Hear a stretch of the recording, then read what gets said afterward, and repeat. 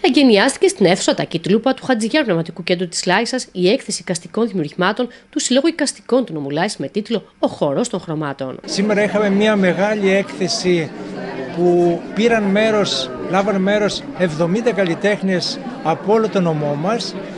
Ο τίτλος της, ε, αυτής της ενότητας της οικαστικής ήταν «Ο χορός των χρωμάτων» και νομίζω ότι μέσα από αυτήν την ωραία εκδήλωση που έγινε είδαμε όλες τις τάσεις της εποχής των Λαρισαίων και του νομού μας δηλαδή καλλιτεχνών τις τάσεις εποχής και αυτό το οποίο προσπαθεί να επιδιώξει κάποιος και να δώσει μέσα το συνέστημά του μέσα από, κάθε έργο το οποίο ε, παίρνει μέρος εδώ στην έκθεσή μας.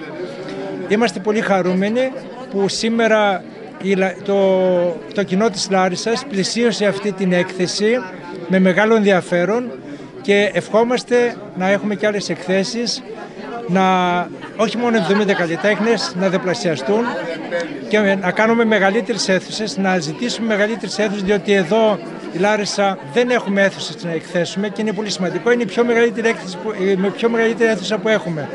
Άρα λοιπόν κάνω και μια πρόταση ε, στους δημάρχους, στο Δήμαρχο βασικά της Λάρισας να βρεθούν αίθουσες για να μπορούν οι καλλιτέχνες να εκφράσουν τα συναισθήματά τους. Είμαστε στο Σύλλογο μια πολύ όμορφη ομάδα που όσο περνάει ο καιρός μεγαλώνει από μια κοινή αγάπη για την τέχνη.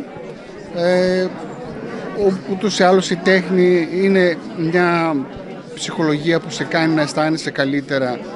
Οπότε όλοι μαζί σαν ομάδα αισθανόμαστε πάρα πολύ καλύτερα εγώ είμαι υπεύθυνος στο κομμάτι του, στη δίκη, στο κομμάτι των δημοσίων σχέσεων.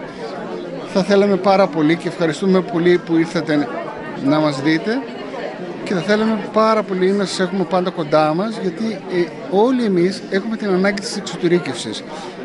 Μπορεί να νιώθουμε την ανάγκη ότι μέσα από τη ζωγραφική μας γινόμαστε ομάδα και αγαπιόμαστε και αγαπάμε την τέχνη μας, αλλά χρειαζόμαστε και εσάς να είστε δίπλα μας και σας ευχαριστούμε πάρα πολύ γι' αυτό. Η έκθεση διαρκέσει έως και το ερχόμενο Σάββατο 17 Δεκεμβρίου.